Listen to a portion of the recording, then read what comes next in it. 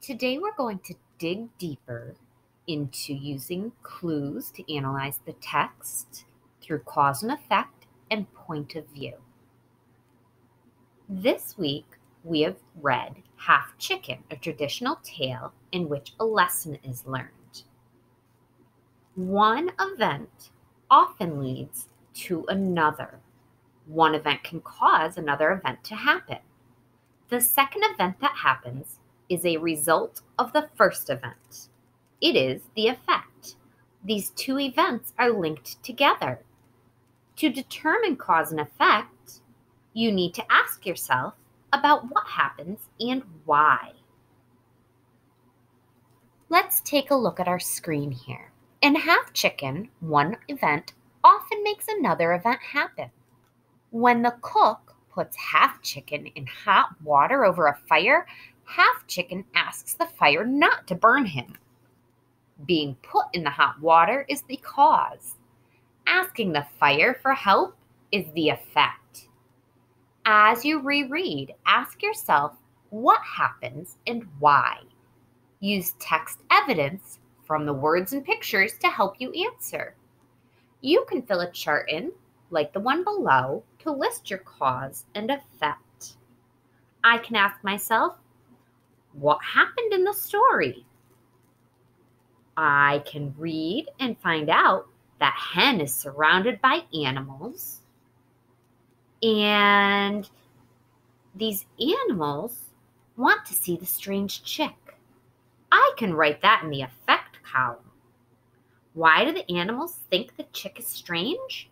They are surprised that he is half chicken.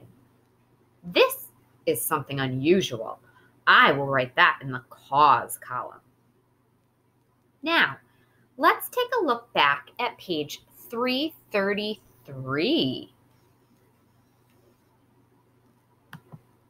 and look at our point of view. Point of view is the way a character thinks about an event. This is very tricky, boys and girls. when we are thinking about our different characters, we need to remember that they may have different opinions about what is happening in the story. This will often cause the different characters to react differently to the same event. When we read a story, we need to think about how each character feels about what is happening. We should use that feeling in our voice for the character. For example, if the character's sad, we can read what the character says in a sad way. Our page says point of view. Characters in a story sometimes think about the same event in different ways. Each character has a different point of view. As you read a story aloud, think about how the characters feel and about what is happening. Think about why they say what they say. Use a different voice for each character to show how the character feels as you reread your story today, whether it be with me or on your own, I want you to make sure that you are stopping to think about the character's different points of view and using our voice when we're reading to make it understood how the character is feeling. We're also going to be thinking about our cause and effect throughout an entire story and asking ourselves why certain things happened. After we're done reading today, friends, we're going to stop, think, and then have a written response. Half Chicken was very vain. However, he also showed that he could be thoughtful of others. Think of the ways Half Chicken was thoughtful and helpful.